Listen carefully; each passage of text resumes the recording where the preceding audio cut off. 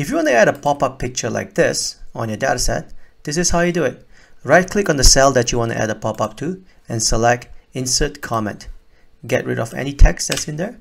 And you want to right click just outside the border of this pop-up. And then you're going to select format comment. You'll be selecting colors and lines tab and do a pull down on colors.